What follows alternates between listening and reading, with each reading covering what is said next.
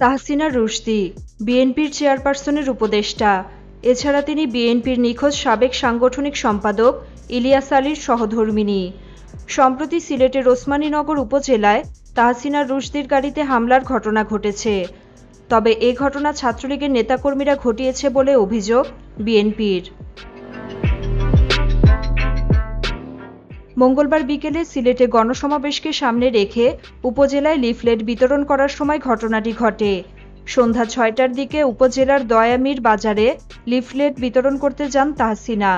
সেখানে লিফলেট বিতরণকালে তার সঙ্গে থাকা ছাত্রদলের তিন নেতাকে আটক করে পুলিশ। এ বিষয়ে ওসমানীনগর থানার ভারপ্রাপ্ত কর্মকর্তা এস এম মাইনুদ্দিন বলেন আওয়ামী লীগের নেতাকর্মীদের সঙ্গে ছাত্রদলের ওই নেতাকর্মীদের ঝামেলা হয়েছে।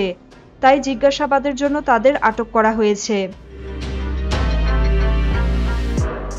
তবে বিএনপির নেতাকর্মীদের অভিযোগ, তাহসিনা রশদি ও দলীয় নেতাকর্মীরা প্রচারপত্র বিতরণ করতে উপজেলায় গেলে বিভিন্ন স্থানে বেশ কয়েকবার বাধার মুখে পড়েন। গোয়ালাবাজার এলাকায় প্রচারপত্র বিতরণের সময় মহাসড়কে ব্যারিকেড দিয়ে বিএনপির নেতাকর্মীদের ছত্রভঙ্গ করে পুলিশ। এ সময় তার গাড়িতে হামলা চালায় স্থানীয় ছাত্রলীগ নেতাকর্মীরা। এ সময় কয়েকজন বিএনপির কর্মীও আঘাত পান।